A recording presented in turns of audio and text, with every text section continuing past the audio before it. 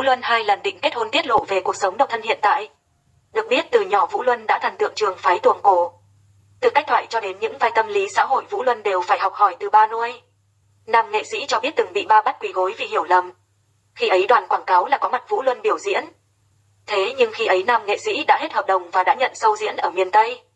Điều này đã làm cho khán giả xem mà không có mặt thần tượng. Khi biết chuyện ba nuôi Vũ Linh đã bắt tôi quỳ vì quan niệm người nghệ sĩ không được phép bỏ sâu. Vũ Luân vừa khóc vừa giải thích với ba sau hai tiếng bị bắt quỳ gối và cũng được đoàn xác nhận khi đó ba nuôi Vũ Linh mới tha tội. Nam nghệ sĩ tự hào khi đi diễn sâu chỉ thua mỗi mình ba Vũ Linh. Thời Hoàng Kim vào năm 1998 đến năm 2000, một suất diễn Vũ Luân được 10 triệu đồng tương đương với hai cây rưỡi vàng. Còn ba Vũ Linh được ba cây vàng. Lúc đó vàng có giá khoảng hơn 4 triệu đồng.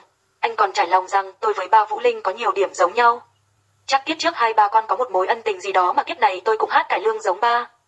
Cũng đi theo trường phái tuồng cổ và được khán giả yêu thương. Mấy anh chị em trong nhà, mỗi người tôi mua cho một căn nhà. Tôi thấy mình và ba Vũ Linh có cuộc sống đời thường và sân khấu rất giống nhau. Nói về cuộc sống độc thân, đôi khi cũng buồn nhưng biết sao giờ. Niềm an ủi là tình yêu của khán giả dành cho hai cha con quá lớn. Tôi chỉ cô đơn những lúc về nhà ngủ thôi, nhưng đối với nỗi buồn, nỗi cô đơn dường như tôi đã quen rồi. Còn những người đang vui vẻ, hạnh phúc rồi bỗng chốc cô đơn thì mới thấy trống rỗng.